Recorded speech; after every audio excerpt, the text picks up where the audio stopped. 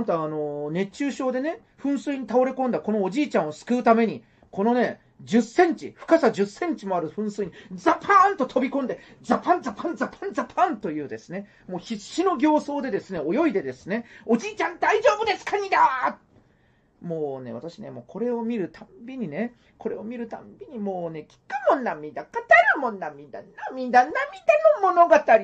もうこんな感じなんですね。いや、本当にね、こう、なんていうんですかね、もう必死でね、この国民を助ける。このね、ブルマン先生のね、この姿、皆さんも心打たれますよ。